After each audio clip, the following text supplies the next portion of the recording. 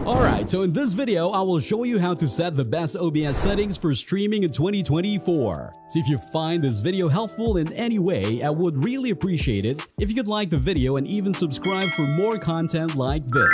I hope these tips help as much as they did for me. Now let's get right into it. Begin by accessing the settings through the controls dock located in the bottom corner of the screen. Navigate to the stream section from the sidebar. If required, connect your account or input your stream key, then tick the box to disregard streaming service setting suggestions at the bottom. Click yes and then apply. Next, access the output settings from the sidebar and switch the output mode to advanced. Move to the streaming tab and designate your stream audio track. I suggest utilizing track 1 for simplicity. If you're streaming to Twitch, consider activating the VOD track option, which allocates a separate audio track for your archive streams. This feature is commonly employed to prevent music from being saved in the VOD. For the purpose of this demonstration, I'll enable this option and designate track 2, which is typically the default track. Choose FFmpeg AAC as the audio encoder. Select NVIDIA NVENC H264 as the video encoder if you're using an NVIDIA graphics card. If you have an AMD graphics card, opt for AMD HW H264. If neither of these options is applicable, use X264. Ensure that rescale output remains unchecked. Navigate to the encoder settings sections, set rate control to CBR. Next, adjust the bitrate based on your upload speed. For upload speeds exceeding 12 megabytes per second, use 8000. For speeds between 10 and 12 megabytes per second, set it to 6000. For lower speeds, choose 4000. If you're streaming to YouTube and your upload speed surpasses 14 megabytes per second, aim for 10,000. Configure the keyframe interval to 2.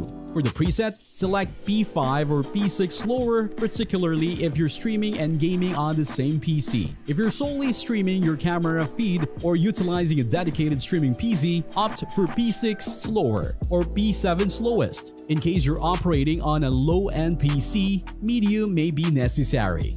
Set the tuning to high quality. Select two passes, quarter resolution for the multi-pass mode. If you're using a streaming PC, you can opt for full resolution. Configure the profile to high, then deselect look ahead and select Psycho Visual Tuning. Set GPU to 0 and max B-frames to 2. Apply these settings and proceed to the audio options in the sidebar. Set the sample rate to 48 kHz and channel to stereo. Choose the first desktop audio drop-down and add your primary listening device or the default audio output device, typically a headset used for computer audio playback. If you utilize two different audio devices, select the appropriate one using the Desktop Audio 2 menu. This could be a chat output on your headset. Set mic auxiliary audio to your microphone, then apply the changes. Navigate to the video options. For the base canvas, select either your screen's native resolutions or 1920 by 1080. To determine your screen's resolution, access the display settings from the start menu. Choose the monitor you'll use for streaming and locate the display resolution settings to view the resolution.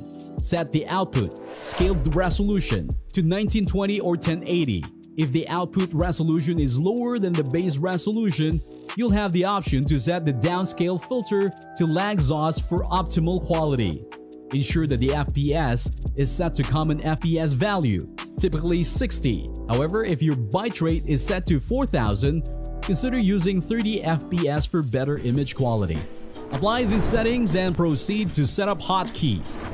Search for streaming in the filter bar, then select the start streaming box and assign a keyboard shortcut to begin streaming. You can use the same hotkey for the stop streaming option to toggle streaming on and off.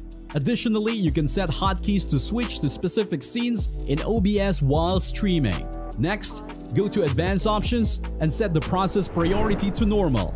For the video options, default settings are generally sufficient, but you can adjust them as needed.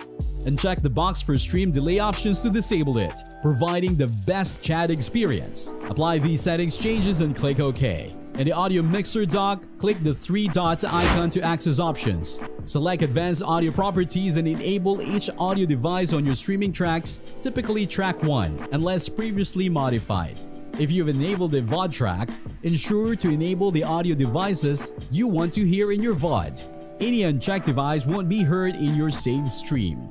Close the settings and you're all set with the best OBS settings for streaming.